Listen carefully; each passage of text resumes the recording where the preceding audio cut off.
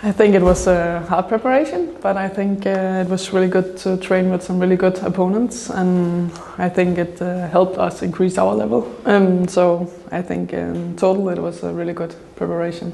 It's always a little difficult to tell, like, and you're always a little more excited for the first game. Yes, I think we trained really well, and uh, I feel we're ready, but we're not going to be perfect, of course.